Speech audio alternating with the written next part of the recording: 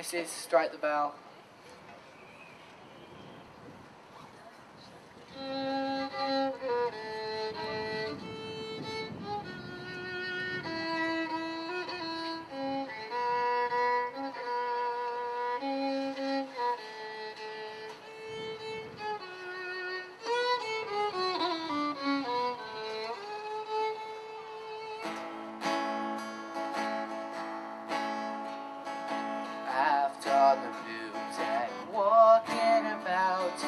There stands the second mate, so steady and so stout.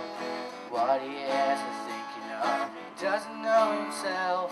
We're wishing that he'd hurry up strike, strike the bell. Strike the bell, second mate, let us go below.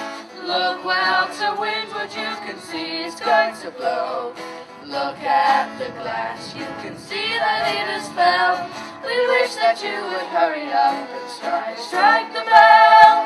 Down on the main deck, working at the pumps. There is the starboard watch, all ready for their bunks. Looking out to windward, they see a great swell.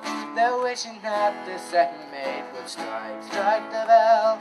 Strike the bell, second mate, let us go below. Look well to windward, you can see it's going to blow.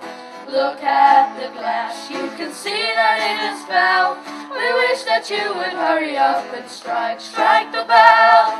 Forward on the forecastle, keeping sharp lookout. Poor old Jack is standing, ready for to shout. Lights are burning brightly, sir, and everything is well. He's wishing that the second mate would strike, strike the bell. Strike the bell, second mate, let us go below. Look well to wind, windward, you can see it's going to blow. Look at the glass, you can see that it is foul. We wish that you would hurry up and strike, strike the bell. Aft at the wheel, poor Anderson stands, grasping at the spokes with his cold mittened hands. Looking at the compass, though the course is clear as hell. He's wishing that the second mate would strike, strike the bell. Strike the bell, second mate, let us go below.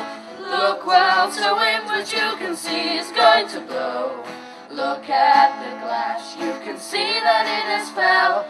We wish that you would hurry up and strike, strike the bell. Aft down the quarter deck, and captain stands, looking out to windward, his glasses in his hand.